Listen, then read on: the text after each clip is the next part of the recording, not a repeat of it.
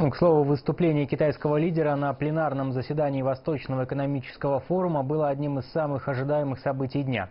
Российские чиновники услышали в выступлениях Си Цзиньпина сигналы, которые, по их мнению, необходимы для стимулирования двустороннего межрегионального сотрудничества. Руководитель Китая – это очень мудрый человек. У него очень такие глобальные инициативы. И я считаю, что э, сегодняшняя его позиция, она тоже была очень выверенной. Я был рад услышать очень теплые и искренние слова Си Цзиньпина в адрес э, города Владивостока, в адрес нашего Дальнего Востока.